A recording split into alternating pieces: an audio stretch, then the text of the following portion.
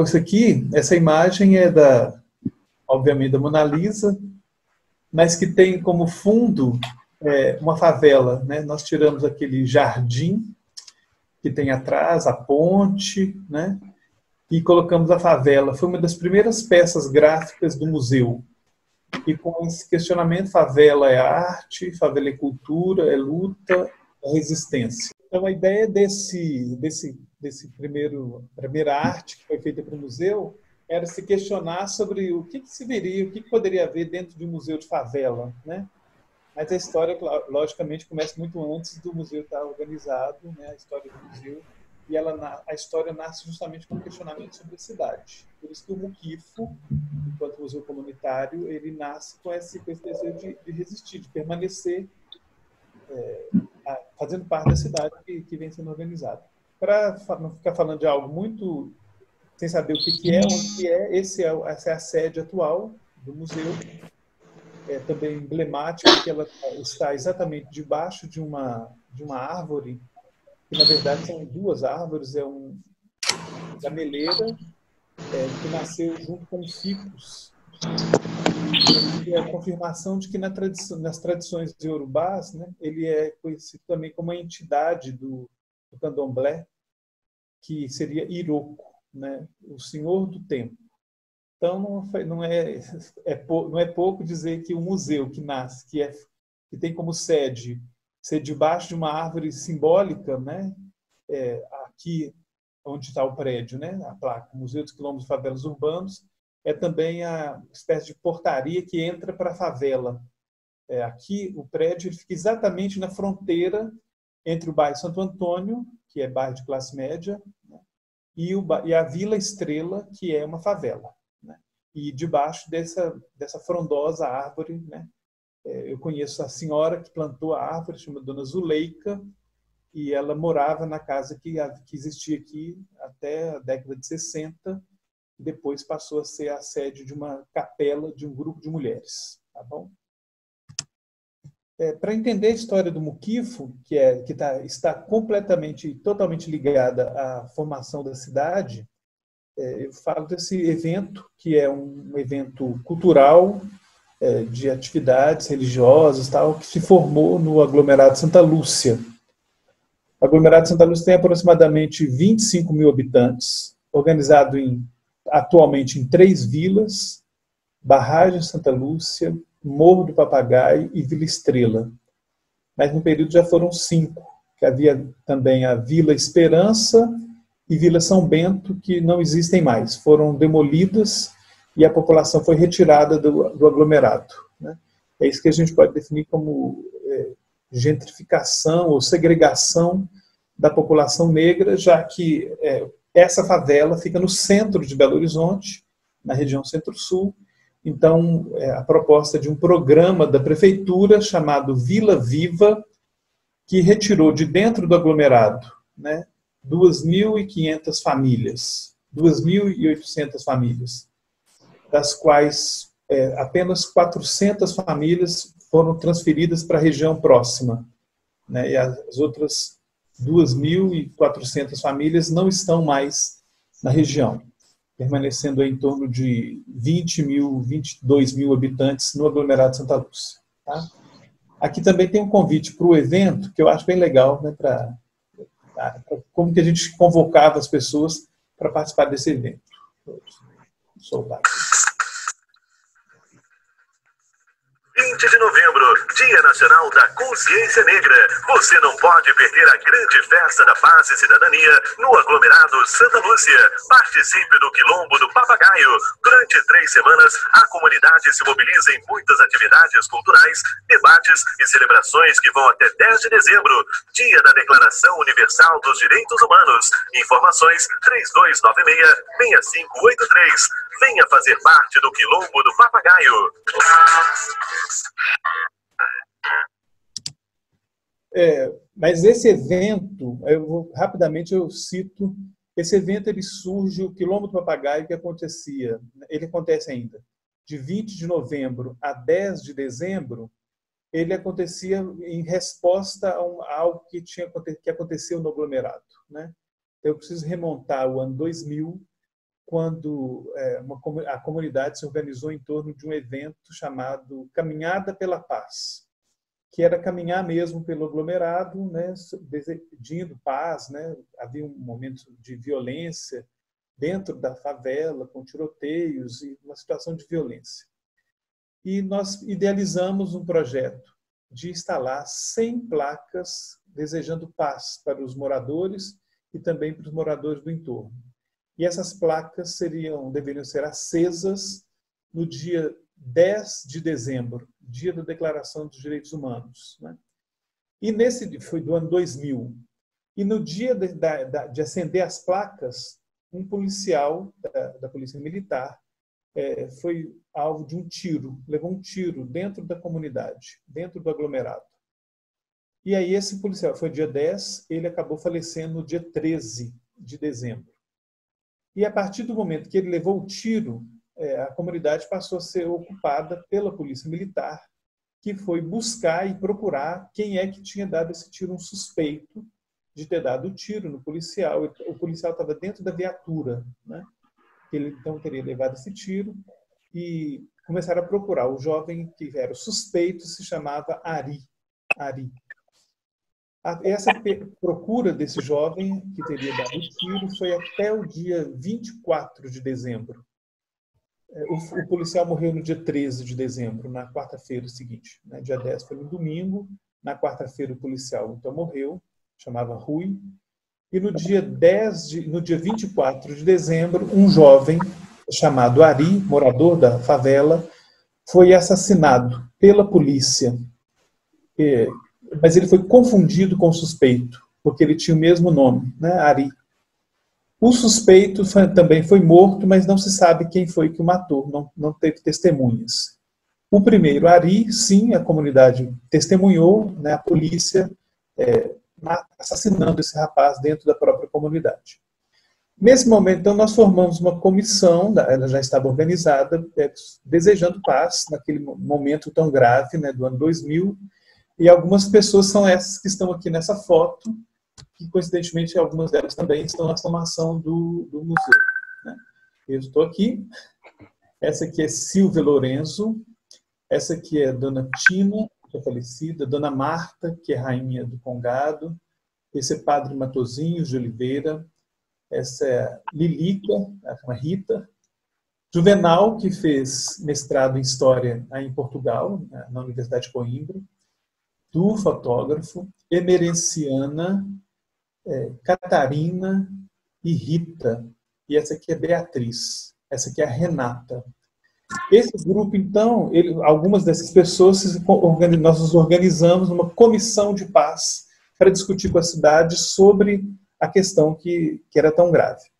E nós formamos, então, uma comissão que, que no ano seguinte, é, montou esse evento para discutir sobre violência nas favelas, direito à moradia e várias outras questões importantes para, os moradores de favela.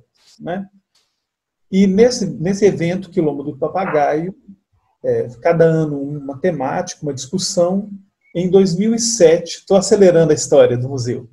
Em 2007, nós discutimos o direito à memória, e com essa discussão de direito à memória, nós definimos é, criar um espaço no aglomerado que seria para guardar o material que tinha sido produzido.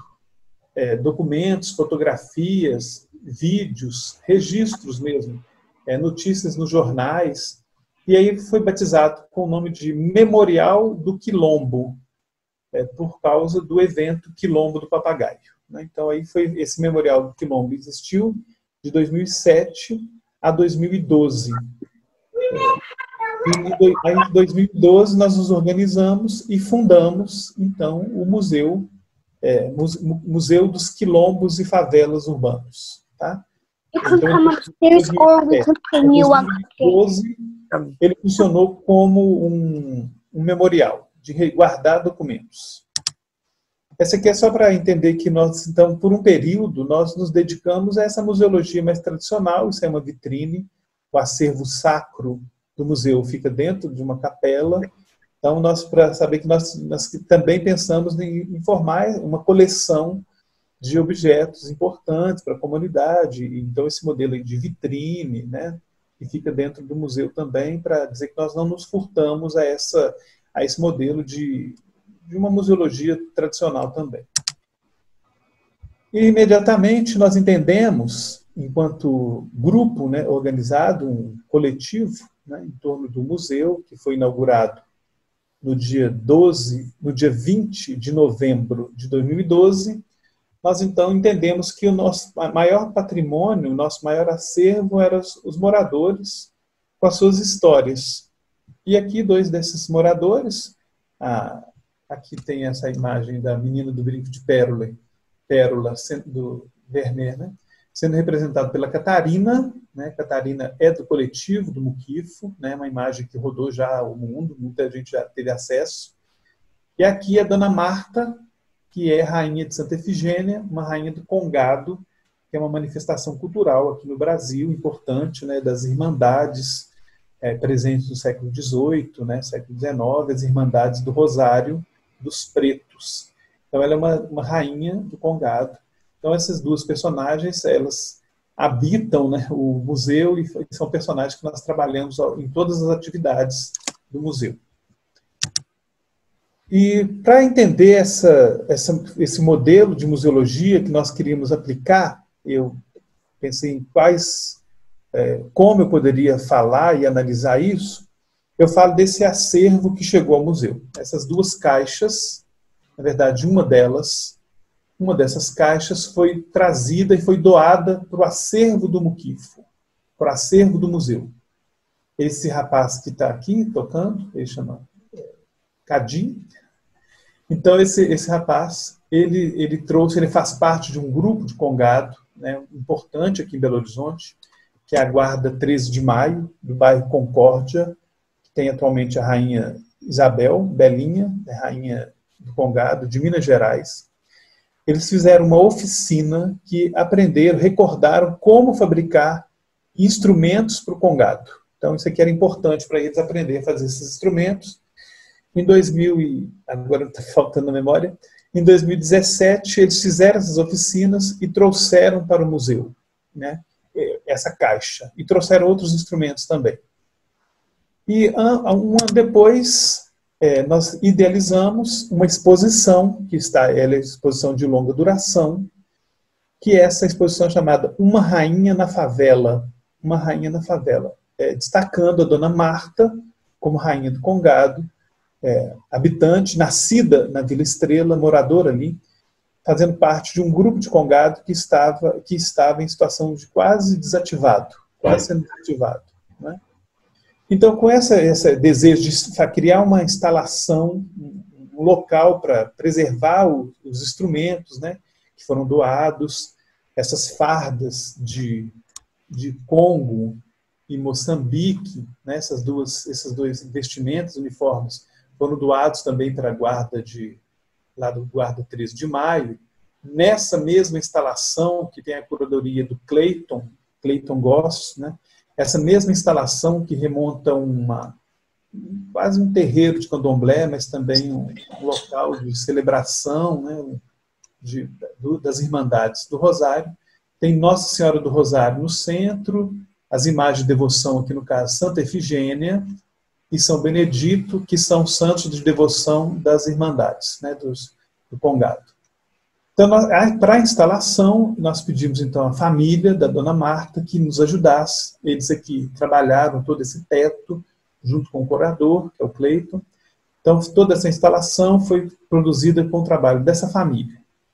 E, obviamente, as caixas, né, a caixa, ela atualmente está nesse local, mas ela estava em exposição na parede do, da, da sala, né, nesse local aqui. Então a caixa ficava aqui pendurada, né, com cartaz da exposição, uma rainha da favela, até que os membros da família, que são esses aqui que estão ensaiando, na casa deles, é, me mandaram um vídeo é, mostrando que eles já tinham começado os ensaios para fazer uma festa em homenagem à Dona Marta, é, na, em setembro né, de 2018, eles então me mandaram um vídeo, mas não com essa caixa, que é a caixa que é, que é do museu. Né? com um instrumento de plástico, uma caixa de gasolina, como se fosse um latão de lixo. Uma festa, mano. Uma despedida. E mandaram então, esse vídeo. Deve um saco. Tá vazando. Tem um microfone vazando. Ah. Então eles me mandaram esse vídeo me falando que estavam ensaiando e eu imediatamente, conversando com o Clayton, que é o curador, né, é, tivemos a ideia então de solicitar que o, um deles, que é esse aqui, que ele se chama Lu, que ele fosse ao museu e retirasse a caixa da, da exposição e que fizesse os ensaios né, com a caixa que estava no museu. Porque o doador, vou trazer ele de novo, esse aqui, no momento de entregar o acervo, ele cita: Eu estou feliz, né? Estou feliz de trazer esse, essa caixa para cá, é, que vai guardar e vai preservar. Eu fico, me sinto orgulhoso, né, feliz com isso. Mas ao mesmo tempo eu estou triste. Isso é fala dele, tá? entre aspas. Eu estou colocando entre aspas. Porque vai, eu nunca pensei que ele ficaria num museu e falou isso com tristeza, considerando que no museu ele, seria, ele não seria tocado. E ele fala, isso está registrado.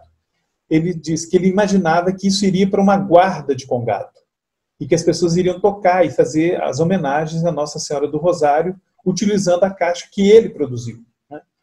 E nós, então, tivemos a ideia de que ele ficaria em exposição, como um museu tradicional, em exposição, é, distante, né, para que as pessoas não, não destruíssem, é, com intenção de preservação, de cuidados, que são outros instrumentos que eles trouxeram. Né? Então, com a intenção de guardar e preservar, colocamos ali. Quando, vi, quando vimos o ensaio, é, o Cleiton, então, teve esse insight de sugerir, não, é, é mais importante que eles retirem a caixa de lá para que eles ensaiem, que eles possam fazer a festa utilizando essa caixa. E aqui já é o dia da festa. Aqui é o Lu, né, tocando já a caixa do, da, do Congado, né, que é uma caixa de Moçambique. Caixa de Moçambique, feita pelo, pela Irmandade lá de 13 de maio. Eu cito esse caso como exemplo essencial para entender que tipo de museologia que nós estamos construindo. Né? Esse local dessa celebração é a atual igreja, é, assim denominada, Igreja das Santas Pretas, que foi feita em homenagem a, um grupo de mulheres. A pintura foi feita em homenagem a um grupo de mulheres que vive ali na Vila Estrela. Tá? Eu, talvez eu fale sobre ela.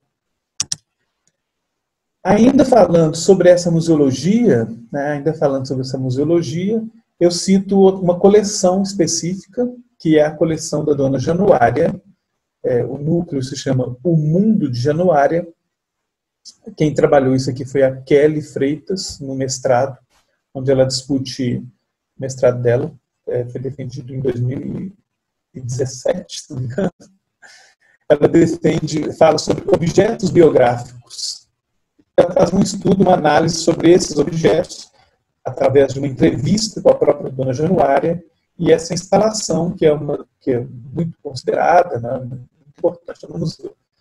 Na narrativa da dona Januária, eu vou apresentar aqui, dona Januária, essa aqui, dona Januária, ela me procurou, né, em 2015, com o discurso de que na casa dela ela tinha uns objetos que ela chama de coisas. Eu tenho as minhas coisas que o meu neto, que construiu em cima da minha casa, ela tem a casa dela no andar térreo, o neto construiu no andar de cima, ele desce do andar de cima e começa a discutir com ela algumas vezes que ela tem um costume de ficar guardando coisas que não são importantes. E com esses quadros de santos na parede. Então, ela, ela narra que ela, discuti, ela discutiu com esse neto, e aí, numa grande discussão, que ele pega esses objetos, essas coisas dela, e joga no lixo. Ela, então, ela narra, aí o texto dela. Quando eu morrer, você, você faz assim. Quando vocês não quiserem mais os quadros dos santos aí, vocês pegam, põe no canto do caixão, manda comigo, põe debaixo da terra comigo não joga na rua, não. Vocês dá para os outros, mas não joga meus santos na rua, não. põe no canto do caixão que eu levo. É, eu fui para o meu quarto, né? Isso é ela falando. Eu fui para o meu quarto e fiquei quieta. Daí, um cadinho, quer dizer, daí um pouco de tempo, ele veio me abraçando, pedindo perdão, chorando, que ele falou demais. Então, com essa fala dela, ela então me procurou né, e, e perguntou se eu podia guardar esses acervo, esse acervo no museu. E no dia que ela chega e ela fala, eu quero ver isso, esses objetos no museu, e então tem um grupo de crianças, ela fica muito emocionada e começa a falar sobre os objetos e solta assim, né? Por isso que eu sou fascinado por ela. Ela fala assim, olha, gostei, mas o quadro ainda não está na parede. Né? Isso, é, isso aí ela intervindo e determinando qual era o desejo dela. E aí então nós definimos, remodelamos toda a expografia e ficava no centro do museu, da sala, né? Então nós empurramos isso literalmente, colocando finalmente o quadro que ela tanto aprecia, que é um quadro do Sagrado Coração de Jesus, que ela só fala que é muito importante, né? e nós finalmente colocamos na parede como era o desejo dela. É essa museologia que, eu, que a gente discute, que a gente vai apresentando, tá bom? Ainda para poder entrar no, no tema da, da cidade, esse modelo de cidade que exclui negros e pobres, é, uma das exposições é também uma instalação, é o quarto de empregada. É, a instalação se chama Doméstica da Escravidão à Extinção, uma antologia do quartinho de empregada no Brasil. E quem é curadora dessa exposição é a Samantha Coan, que atualmente é do nosso coletivo, Cidinha da Silva, né, escritora negra aqui, brasileira, e eu também atuo como curador, e as é uma curadoria coletiva as domésticas do aglomerado Santa Lúcia, né, que contribuem trazendo acervo e discutindo sobre o quarto de empregada. Atualmente, nós temos, acrescentamos ao quarto de empregada é, dois núcleos, aqui nesse canto, nós temos um núcleo que foi organizado pelos, pelo curso de museologia, alunos do, do Jesulino, né, que está nessa reunião conosco, é, ele também é curador dessa, desse cantinho aqui, se chama presente de patroa. Então, são objetos que são trazidos para o museu por domésticas, com discurso, alguns deles com história, né, de, não, eu sou feliz, eu gostei de ter ganhado esse presente, e alguns sem, sem nenhuma referência, apenas dizendo é, presente de patroa, né, presente de patroa, com certo desdém.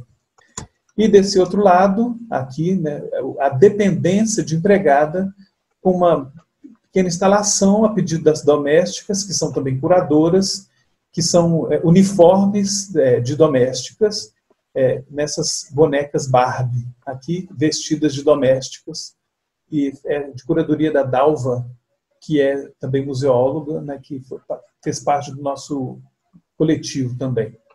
Então esse quarto de empregada, ele é visitado, né, ele é, as pessoas podem entrar no quarto, ele tem as dimensões de um quarto oficial, né, trabalho, é, o projeto é do Silvio Podestá, que planejou o quadro, com o discurso de que esse, não, esse quarto quase não existe, os quartos reais são menores, e que os arquitetos que, produ que desenham esses quartos na, nos apartamentos é, colocam escrito sobre os quartos, o que vai ser o quarto da empregada, a palavra dispensa, porque aí sim é aprovado pela prefeitura, pelos órgãos que aprovam, mas não como quartos de empregada, que deveria ter essa dimensão mínima, né, com essa dimensão que nós optamos por ela na exposição do museu, do Muquif.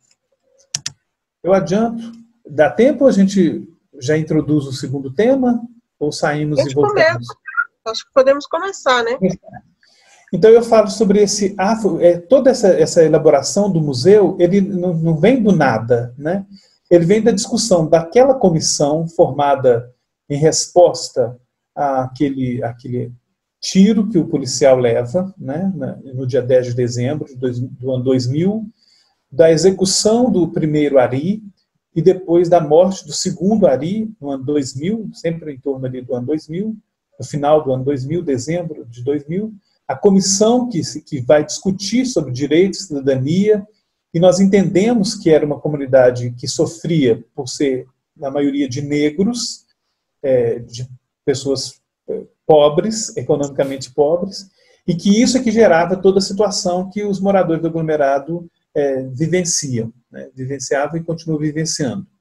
E a discussão, então, sobre a memória, que foi em 2007, o direito à memória, e a necessidade de criar um museu, mas não nos padrões da museologia tradicional, né, da museologia clássica, é, de preservação de, de, certas histórias que não nos representam. Né? Isso aí era fundamental. Então, o, o, que a gente fosse criar seria é, algo completamente novo. E a discussão naquela época já era em torno do, mas qual patrimônio que nós temos? Né? Existe patrimônio na, nas favelas, né? e não é só, os próprios moradores também se questionam sobre isso, né? É pensando, mas afinal de contas, o que é patrimônio? Isso não é coisa de museu, não são objetos importantes, não são histórias importantes. Isso saiu em reuniões que nós fizemos do próprio Quilombo, do evento, né?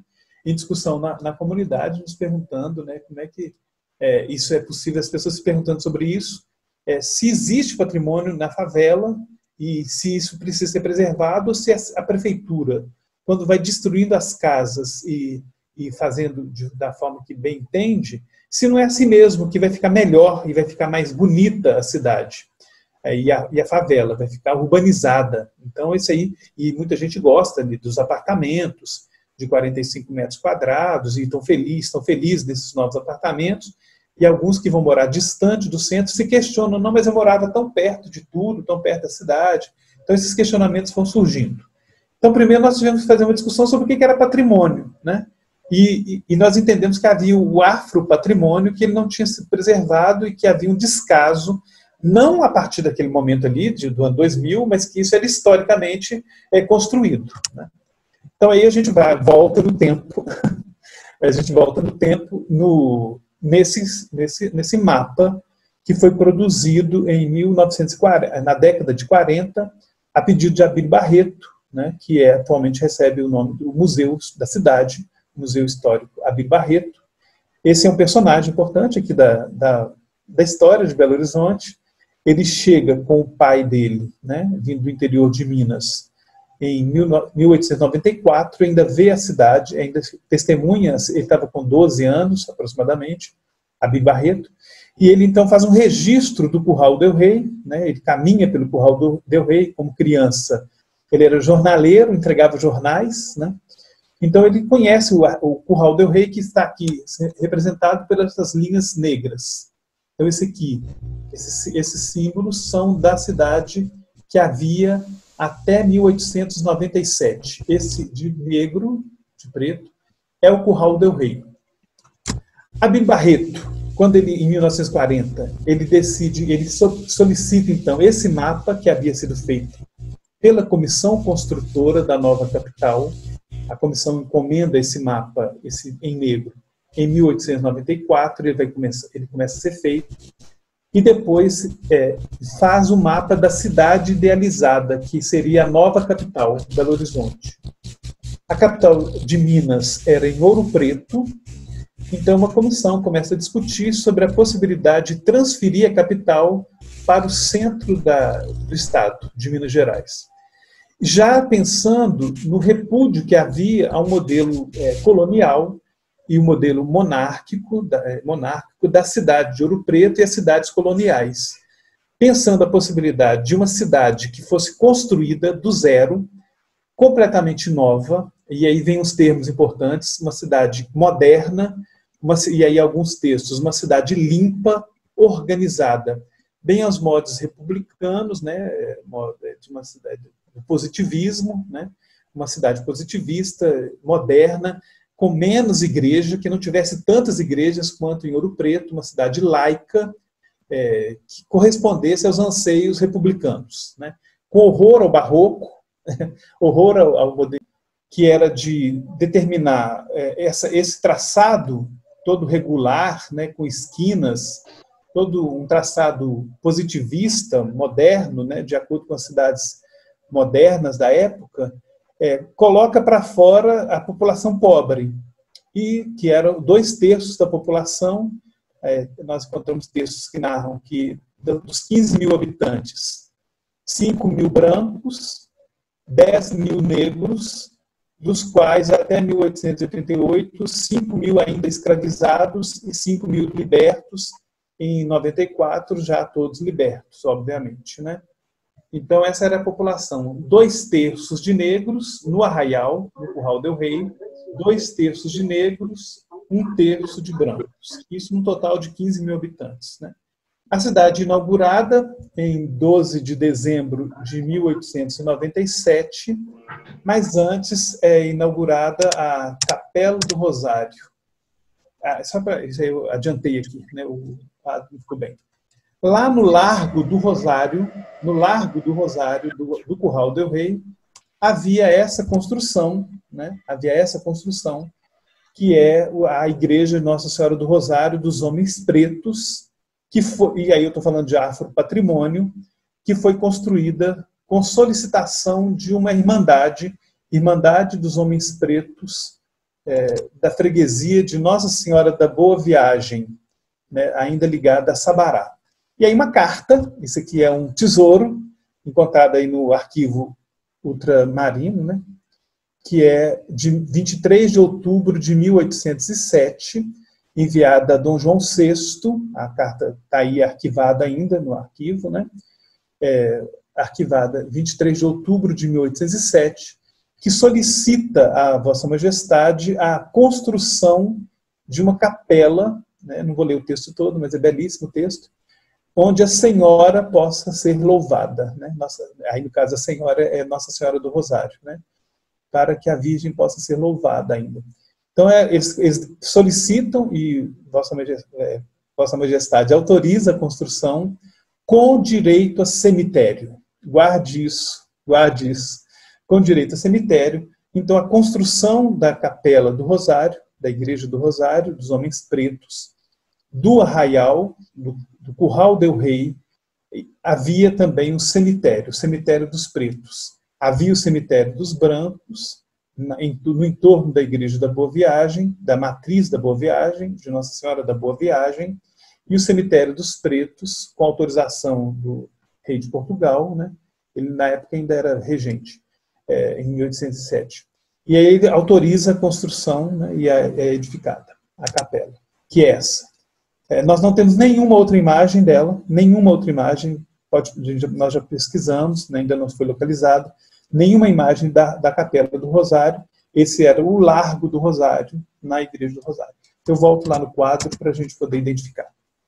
Então, tá, é, aqui, não sei se vocês estão vendo, aqui é o, a Capela do Rosário, no contexto da, do Curral del Rei.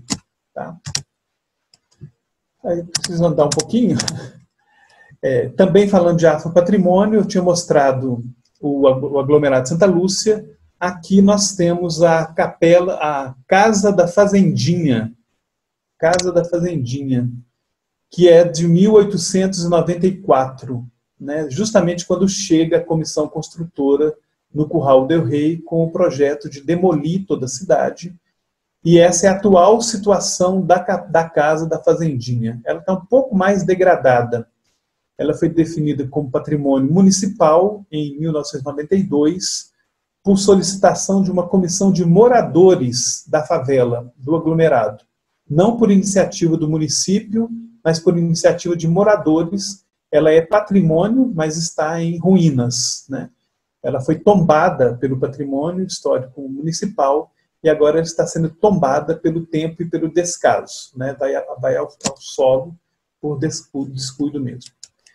Então, essa, essa capela do Rosário, construída a comissão construtora, estou terminando essa fase, aí a gente pode discutir.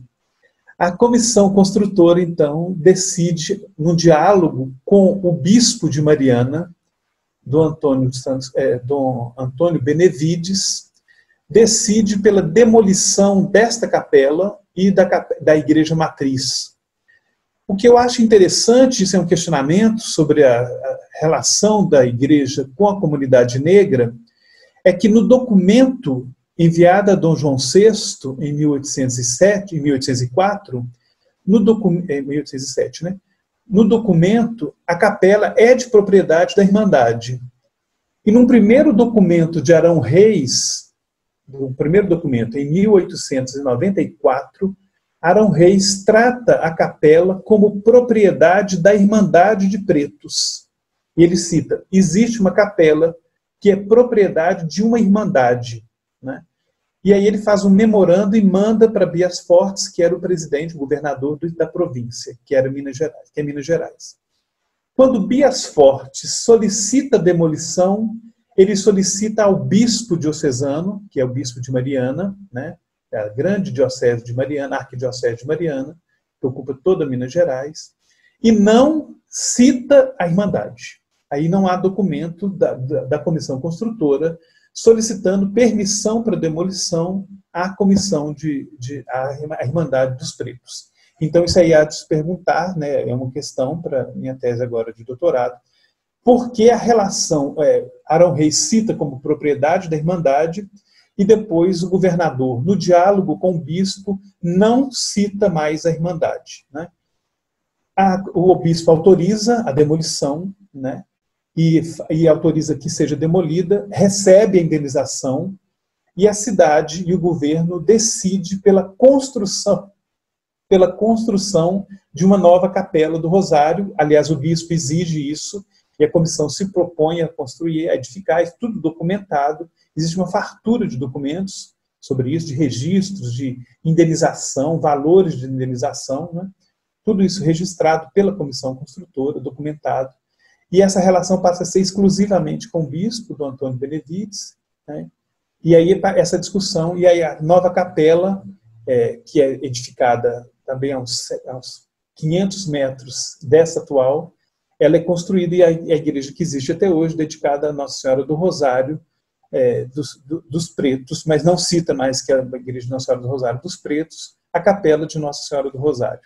Eu não pus imagem dela aqui porque ela não é objeto da minha pesquisa. A meu, meu objeto de pesquisa é só mesmo a capela que pertencia à Irmandade dos Pretos.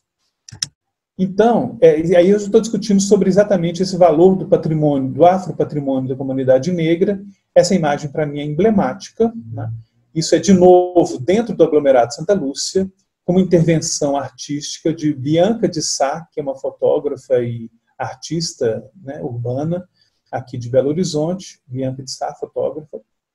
Ela fez essa intervenção, era só mais um Silva, é, registrando num dos, uma das casas do aglomerado, ela fez isso em algumas casas, ela marcou algumas casas com essa inscrição, né, era só mais um Silva, para dizer que, é, questionando que o patrimônio que foi construído e edificado pela população negra não tem valor para a cidade dos brancos, né? É, isso é, é, é se questionar.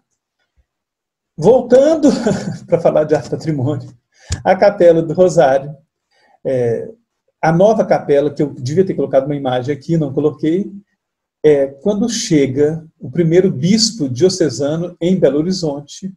Esse bispo diocesano tem uma péssima relação com os negros e em 1923 ele decreta que as Irmandades do Rosário não podiam mais celebrar dentro da capela. Então a nova capela do Rosário né, que tinha sido feita em substituição da capela original, a de 1819, ela então não pode mais acolher as irmandades que viessem para celebrar suas festas em homenagem a Nossa Senhora do Rosário. E por determinação de Dom Cabral, que é o primeiro bispo da Diocese de Belo Horizonte, os negros então se afastam, os negros do Rosário não fazem mais a festa de Nossa Senhora no interior da Capela do Rosário. E esses negros, então, do Rosário, com o mesmo movimento da população negra, vão para as periferias da cidade. E aí eu volto num outro mapa. É esse mapa feito pela Lisandra Mara da Silva. A Lisandra defendeu o mestrado dela também na UFMG em 2018 em arquitetura, né, a dissertação de mestrado dela. Ela faz um levantamento de acordo com, com o dado do IBGE, né, Instituto Brasileiro de estatística, geografia estatística, né, de 2010, ela localiza a população negra na cidade e identifica que os negros é, foram, ao, ao, longo do século, dos 130 anos de Belo Horizonte, sendo afastados do interior da cidade, do interior da avenida, do contorno, que aqui no mapa, eu vou tentar passar aqui o mouse, Eu não sei se vai ficar claro aí para vocês. Essa é a Avenida do Contorno. E tudo que está em azul são pessoas brancas. Tudo que está em verde são pardos. Tudo em vermelho são negros. Né? Então, o que a gente percebe é que os brancos ocuparam o centro da cidade, a cidade idealizada. Esse aqui é o traçado da comissão construtora. Aqui nós temos uma avenida, que é a Avenida do Contorno, que circula essa cidade idealizada e projetada para 300 mil habitantes. E a população negra, e aí vai mudando de cor, né? o azul vai ficando é, verde e o verde vai ficando vermelho nas periferias e nas favelas. O Muquifo está aqui, né? está ainda muito próximo dos brancos, né? está no limite entre, é uma região chamada de suburbana, é, aqui nós temos uma, um grupo, aqui exatamente a Vila Estrela, onde eu estou com o mouse, né? essa é a Vila Estrela, onde tem uma presença de pessoas negras, lembrando que os pontinhos verdes são pardos, pessoas morenas, né? não tão negros. Né? Então aí nós temos uma presença de negros nas favelas e distante, em regiões distantes do centro da cidade. Então, isso a gente pode chamar de uma cidade que foi construída é, de forma é, segregatória, né? foi segregando, tirando da, da, da proximidade os negros, né? do seu interior, os negros. É, aqui também, voltando, terminando meu, meu discurso, essa é uma das vilas que foi completamente demolida pela prefeitura né, de Belo Horizonte, e aqui nós temos a fala da, da da Regina, ela falando depois que ela deixou a vila, né? Ela fala, ela narra: é, acabou-se o que era doce, partimos para outra, né? É, é, bom, como é que é? Não estou vendo aqui, tem uma coisa tampando. É, partimos para outra, é bola para frente. Era uma vez Vila Esperança, antigo Bicão, se foi Agora é só lembranças e saudades dos anos que vivemos lá. Adeus, comunidade. Então, a, essa é uma fala da, da, da Regina né, sobre essa vila onde ela viveu por alguns anos. Como é que eu passo aqui?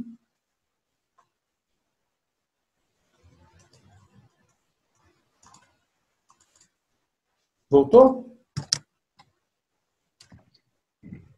Alô? Não. É... Boa tarde, padre. É aqui no verdinho novamente. No verdinho novamente. Isso clica novamente que ele sai. Sair. Então tenho que fazer stop. No vermelho, não? Ah, é, agora é vermelho. O meu aparece verde. Sim, é vermelho. Uhum. Perfeito. Então, foi, foi. Foi? Sim, volta para o mapa, não é? Voltou para o mapa. Uhum. Então, deixa eu ver aqui. Que, que ele não está indo? Mas queres colocar outro ou queres, queres tirar eu, já? Eu só quero passar. Só quero passar. Tá bem. Então, já estou terminando meu discurso para que a gente possa conversar, né? Então, essa, essa, só voltando ali, o museu então passa a cuidar dessas histórias, né?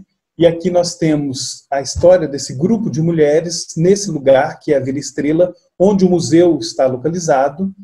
E aqui esse painel que foi pintado, né, um registro histórico que narra a história de 14 mulheres que ao longo de um século é, lutaram para definir um lugar. Na minha opinião, enquanto pesquisador, enquanto quem acompanhou por, por 17 anos esse grupo, elas guardaram na memória aquela capela do Rosário de 1800, inaugurada em 1819, demolida em 1894, e sempre se questionavam quando é que nós vamos ter uma igreja de verdade.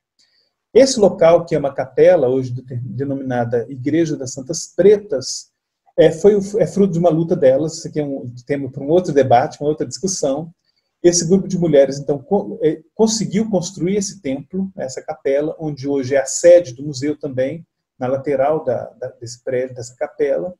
E aí nós iniciamos a pintura em 2000 e...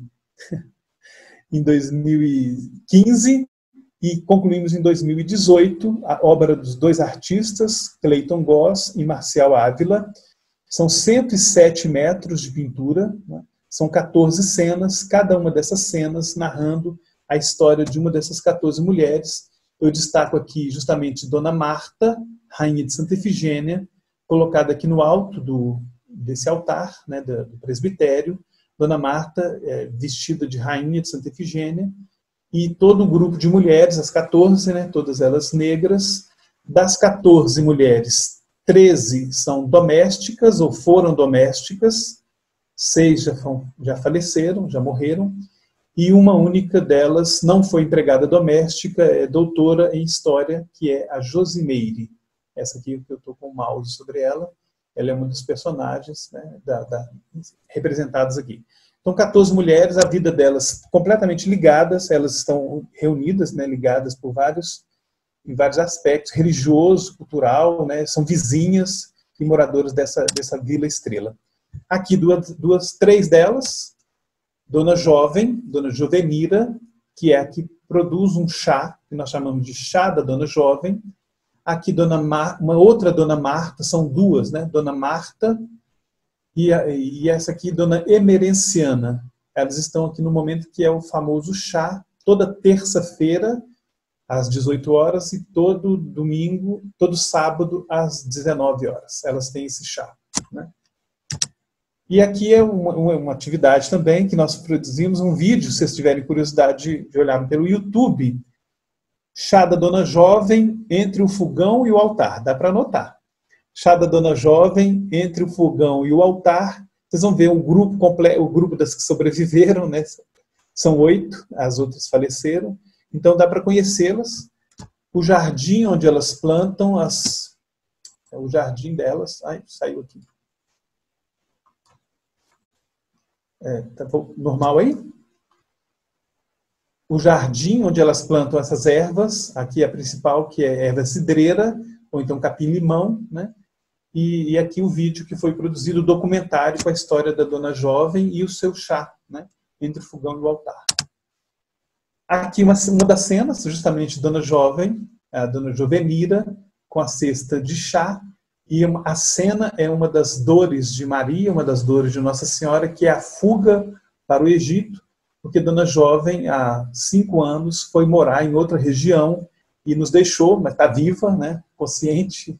E aí, o dia que ela foi embora, para nós foi uma grande tristeza, é, porque na capela é refletida, nós pintamos as histórias de dor, de tristeza e de alegria de Maria, e com as 14 representando. Aqui é uma nota e concluindo, minha reflexão, praticamente concluindo, é, nós organizamos então um projeto chamado Negricidade, que busca resgatar da cidade que foi edificada, aqui de novo em destaque, o Largo do Rosário, a Capela do Rosário, afropatrimônios, né, que foram demolidos e soterrados, inclusive o cemitério dos pretos, que permanece lá, agora debaixo do asfalto, né, os negros nós calculamos em torno de 50, 70 negros ali sepultados, permanecem debaixo do asfalto, porque a cidade não se ocupou de retirar os corpos e levar para o cemitério novo, que foi inaugurado em fevereiro de 1897.